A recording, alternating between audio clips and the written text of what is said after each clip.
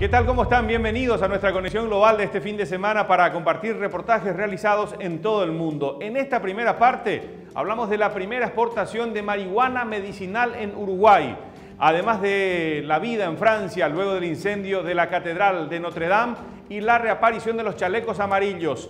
También una elección que dura 39 días.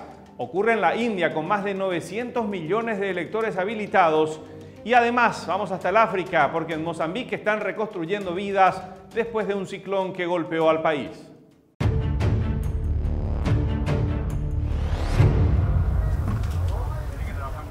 Luego de un año de espera, esta es la primera cosecha de marihuana medicinal que se exportará desde Uruguay. Tras ser cortada y secada en la ciudad de Nueva Helvecia, es preparada para su envío a Europa, Canadá y Australia.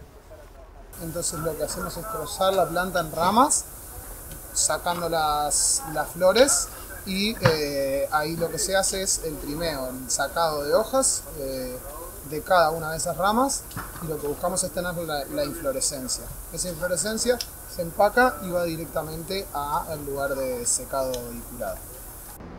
La empresa estadounidense Fodmer instaló 18 invernáculos, un total de casi 30.000 metros cuadrados techados para producción de marihuana con fines medicinales en Uruguay, al amparo de su revolucionaria ley que regularizó el mercado de cannabis en 2013. La meta es clara, convertirse en un proveedor principal de cannabis de uso médico.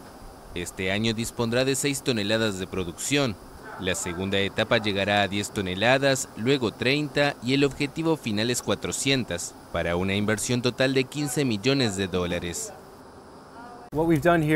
Lo que hemos estado haciendo aquí en nuestro primer año de producción es estandarizar efectivamente nuestro cultivo de cannabis, lo que es muy importante, en especial cuando provees a la industria farmacéutica. La cosecha es intensa y estresante ya que se realiza en pocos días en turnos que cubren 24 horas. Todo el proceso sigue protocolos específicos para abastecer a la industria farmacéutica. Las flores son recetadas como medicina en países como Alemania y otros componentes químicos se destinan a medicinas específicas. Las primeras bolsas plateadas cargadas de marihuana para exportación pesan 3 kilos y a un precio en el mercado internacional de 3 a 7 dólares el gramo, la carga de cada bolsa oscila entre 9 mil y 21 mil dólares.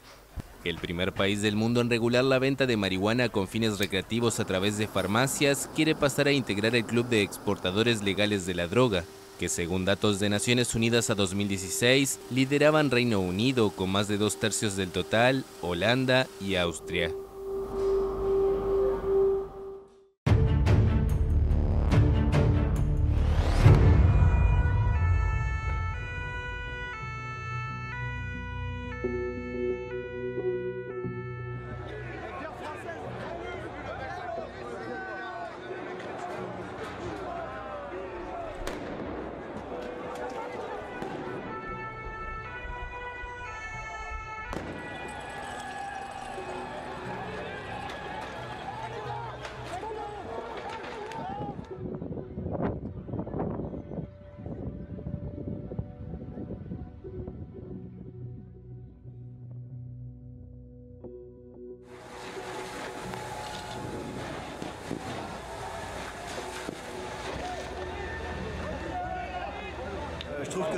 Notre-Dame, c'est un grand malheur.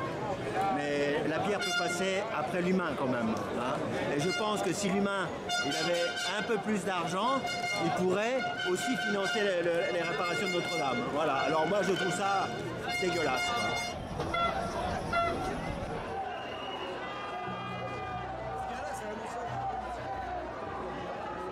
Ce qui est honteux, c'est que Macron nous fait croire que l'ISF ne rapporte rien, à limite coûterait de l'argent à l'État. Or, les grosses fortunes viennent de démontrer qu'ils sont pleins de pognon.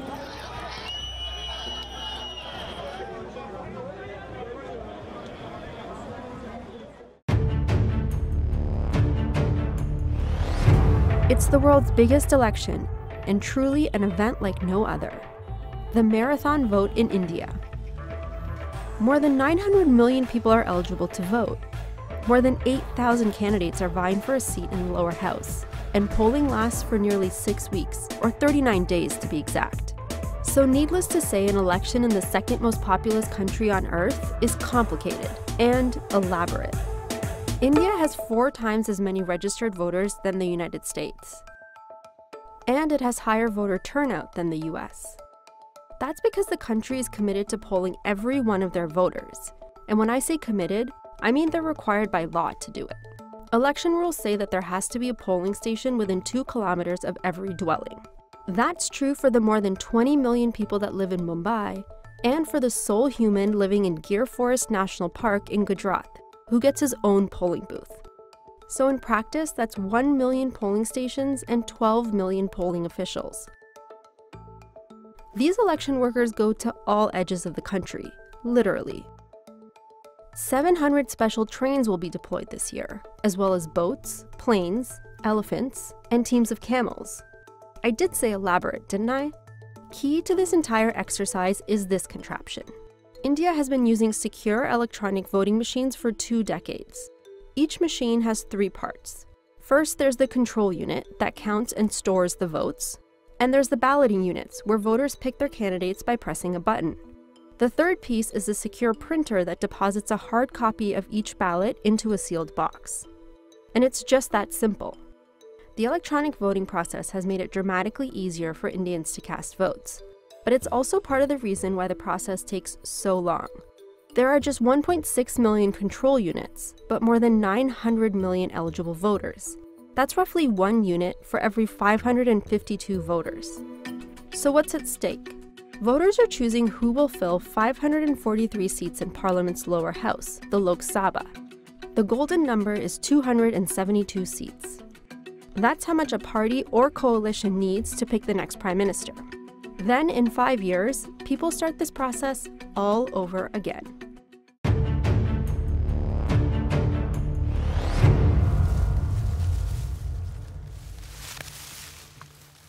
Augusto Braz used to grow maize and rice here. It was just enough to feed his family. Until a cyclone struck his village in mid March. It came just before the annual harvest, destroying his home and his crops.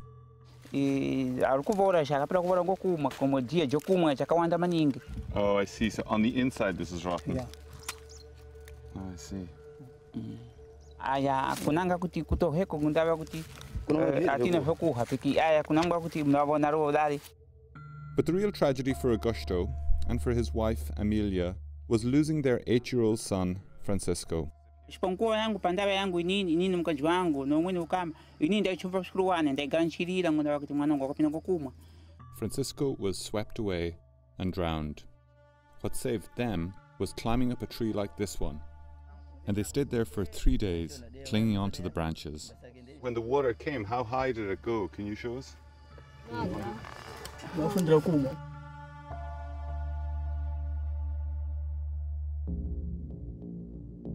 Idai was the deadliest cyclone to hit southern Africa in over a century.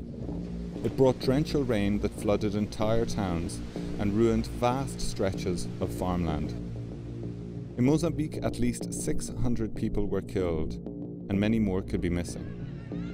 The people here were already some of the poorest in the world, and the little they had is gone. Now, most of the flooding has receded, but the crisis is far from over. So we came here weeks after the storm to understand its lasting impact. With crops wiped out, millions are struggling to feed themselves and to rebuild, and are now entirely reliant on aid. In Buzi, one of the most affected areas, we meet up again with Amelia. She's with her neighbour Esther, whose daughter Lausina is sick. Well, what's the baby sick with? Um, amso kupisa depois webasa vomita rizula nokubudisa Esther's worried these symptoms might be a sign of cholera. Following the storm, cholera became one of the most urgent concerns. In a matter of days, the number of recorded cases went from 3 to 3,000.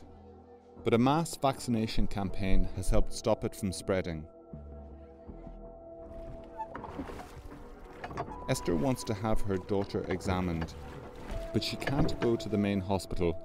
It's been wrecked by the cyclone. So they head to an emergency treatment centre run by Doctors Without Borders.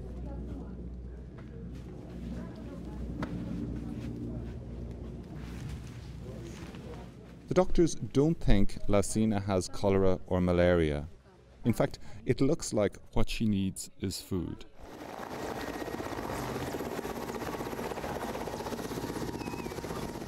Vital aid is arriving in Mozambique, provided by dozens of relief agencies that have taken over the town of Buzi, like this evangelical group. Thank you, thank you, Jesus. Thank you, thank you, Jesus, from my heart. Verse 2 in Arabic, guys. Shukran, shukran, Rabbi. They've set up a new clinic here that includes a full operating theatre. Please, please, please always consider malaria a problem. Just down the road, this Muslim charity is handing out roofing materials. Is Al Imdad a South African uh, organization or is it part of an international one? A proudly South African organization. Everywhere we go, the effort to bring the town back to life is underway.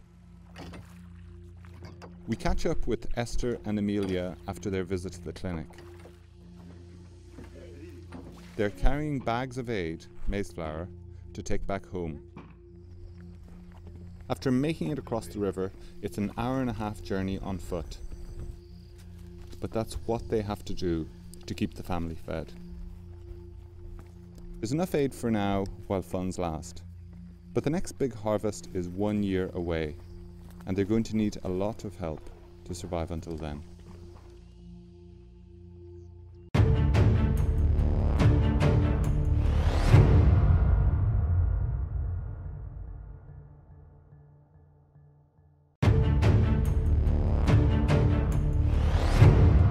Y en esta segunda parte de nuestra conexión global vamos a hablar de cómo en Pakistán apelan a blogueros para intentar atraer turistas. También en Estados Unidos será la ciudad más resistente al cambio climático, un reportaje especial sobre el tema. Y finalmente hablamos de cómo el cierre de vertederos chinos está generando todo un caos en la industria del reciclaje.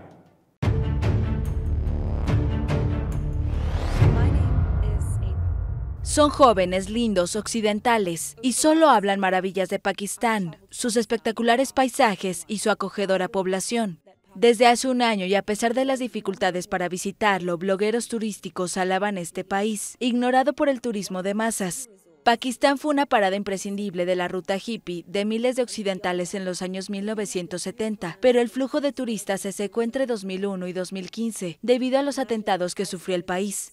Desde entonces, la violencia disminuyó drásticamente, pero no la percepción negativa sobre el país. Esta es la forma más efectiva, y con efectiva me refiero a influencia y efectividad. Es bastante rentable y llega a la audiencia adecuada. Pakistán apenas atrajo a 1.075.000 turistas en 2017, a pesar de las ventajas que ofrece, paisajes del Himalaya en el norte, desiertos en el sur, una rica historia religiosa y la hospitalidad de sus habitantes. El turismo es un sector prioritario para el primer ministro pakistaní, Imran Khan, que se reunió con varios blogueros de viajes en abril durante un foro turístico. Rosy Gabriel, una canadiense de 32 años y con 74 mil seguidores en Instagram, hizo un road trip de 3.500 kilómetros sola, en moto. Sus pasajes de avión y formalidades administrativas fueron pagados por una asociación pakistaní. Quise venir a Pakistán a cambiar la percepción de lo que es este país. Ya sabes, escuchas que Pakistán es peligroso, que hay terroristas. Eso no es cierto. Entonces quería mostrar el verdadero corazón de Pakistán al mundo. Pero Pakistán no es tan fácil de descubrir. Los hoteles y transportes son escasos y las carreteras a veces son caóticas. La activista feminista de Islamabad, Sara Saman, afirma que los influencers ignoran esto porque durante su visita reciben ayuda. Alexandra Reynolds, de 27 años, realiza su quinto viaje de mochilera a Pakistán, pero cree que el país no está preparado para recibir al turista medio, al que las publicaciones de los influencers pueden atraer. En uno de sus videos que se volvió viral, cuenta cómo en 2016 un hombre armado llegó a su albergue para controlar su pasaporte. El problema con la forma en que Pakistán está cubierto ahora es que es una narrativa muy singular. Es solo positiva. Solo habla de la hospitalidad que reciben en su mayoría los viajeros blancos. Y lo hospitalario no es una mentira, pero oculta los grandes problemas subyacentes del turismo en este país. Otros viajeros también relataron a la France Press comportamientos abusivos por parte de las fuerzas de seguridad, que tras años de guerra contra el terrorismo sospechaban que eran espías.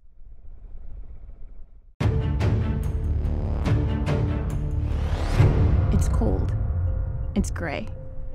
It has a lot of potholes. But could it be paradise? It could be, at least for climate migrants, those fleeing rising tides and temperatures in other parts of the country. This is Duluth, Minnesota, a small city on the western tip of Lake Superior. Hi, Jesse. Hi, I'm Kendra. Nice to meet you. Kendra, how's everything? Jesse Keenan is a climate adaptation expert at Harvard University. Keenan believes climate change could cause displacement across the U.S., and cities like Duluth could benefit by welcoming climate migrants. Is it unrealistic to think that 10 or 20,000 people could move here in the future, let's say in the next 50 years? I don't think that's unrealistic at all. He somewhat jokingly refers to Duluth as the most climate proof city in America. When people at the University of Minnesota Duluth got wind of Keenan's ideas, they hired him to do analysis and demographic forecasting. It's a beautiful color brick. Keenan acknowledges there's no escaping climate change, but there could be relief from the scorching Phoenix summers and rising Miami seas that will only get worse as the planet warms. So Keenan believes there's no better place for climate migrants to land than Duluth. You know, they call it the air conditioned city for a reason. They have for 80 years. It's pretty cool here in the summertime. Therefore, when they do have extreme heat, it won't be as bad. Another selling point the city's forward looking economic approach. They're not so much stuck in the nostalgia of the past that we're going to bring back manufacturing and coal and all of these things. They're actually diversifying their economy. And the city's existing infrastructure could make it attractive to newcomers.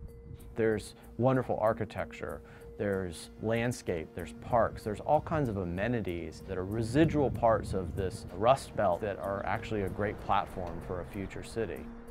But what it's really all about is this Lake Superior. I'm just happy I made the executive decision not to wear ballet flats. this is all fresh water. And as the, uh, the world heats up and starts absorbing more and more water into the atmosphere, fresh water is going to become more and more scarce and more and more valuable. And uh, there's plenty of fresh water here to go around. Think of this lake as a giant water fountain of the future. Life in Duluth already revolves around it, from sledding to beer making. And as fresh water becomes scarce under a warming climate, it will be even more important.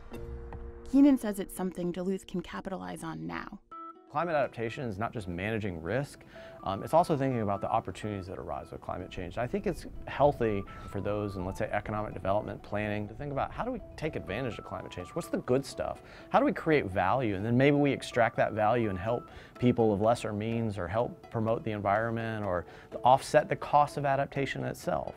Although there is no data to show that people are already moving to Duluth to escape climate change, Keenan projects that on average, over 200 people a year could potentially move to the city over 50 years. That's a lot of people for Duluth. That would actually increase their municipal budget by about 1.5% um, every single year.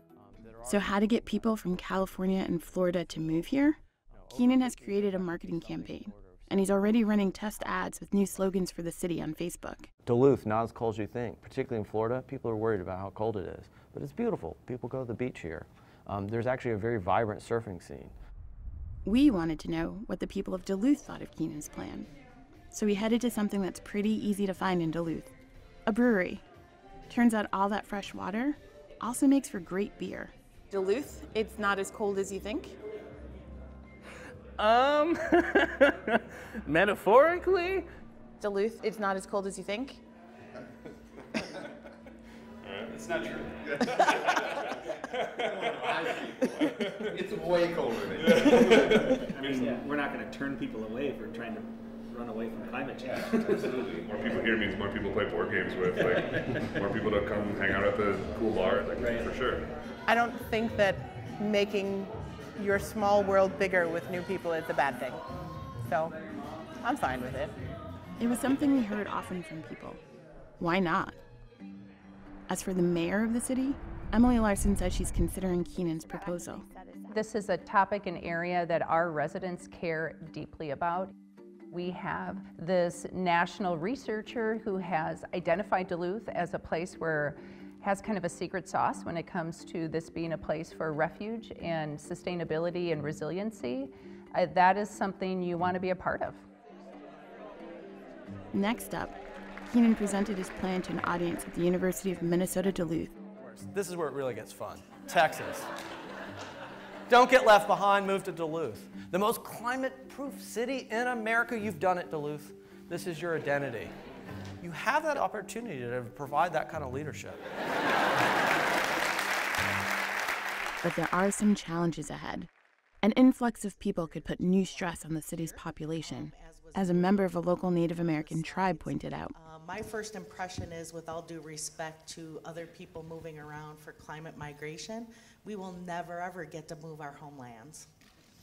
Um, and so that's a bit of a concern, right? Um, additional stressors. Our way of life is so tied to um, the natural environment, a healthy natural environment, more people, more strain, more pollution, more need for economic growth, when, from my perspective, we haven't even figured out how to interact in a positive way with our indigenous people here. So not everyone was won over by Keenan's plan. Why should Duluthians listen to you? Uh, maybe they shouldn't. I know nothing about Duluth other than what I've externally understood in maps and plans and ideas and history and photographs and archives and economic data. It's actually a really nice place and people are really nice and there's good restaurants and I get a sense of what it means to be on the lake and uh, I can understand why people would live here. I don't know if I could ever live here, but, but maybe so.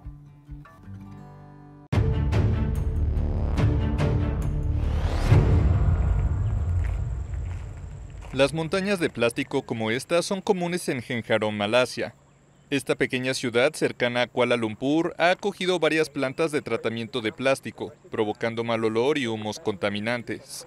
Desde que China decidió prohibir a inicios de 2018 la importación de plásticos y otros residuos para su reciclaje, varios países asiáticos comenzaron a recibir toneladas de desechos de todo el mundo. Esta es una planta ilegal cerca de nuestra comunidad, a menos de un kilómetro. Hay residuos de plástico usado y descubrimos que estos desechos son de países desarrollados como Estados Unidos, Australia, Reino Unido, Suiza y Japón. Luego de numerosas protestas, las autoridades cerraron varias plantas y congelaron temporalmente los permisos de importación de plástico. En septiembre pasado, 33 plantas cerraron en Genjarón y la calidad del aire mejoró, pero los activistas ambientales creen que las operaciones de reciclaje fueron trasladadas más lejos. Los países occidentales batallan para encontrar destinos donde reciclar sus residuos. Muchas empresas consideran demasiado caro reciclar en sus propios países y otras utilizan vertederos o incineradoras. Hallamos la planta, ellos simplemente tiran el plástico no reciclable y el producto rechazado y lo queman en el patio de la planta. Esos gases tóxicos ya han causado muchos problemas de salud en nuestros residentes. Según las organizaciones Greenpeace y la Alianza Global para Alternativas a la Incineración, China pasó de importar 600.000 toneladas de plástico cada mes en 2016 a tan solo 30.000 por mes en 2018. En un planeta donde solo se recicla el 9% de plástico, activistas advierten que la única solución a largo plazo es fabricar y consumir menos plástico.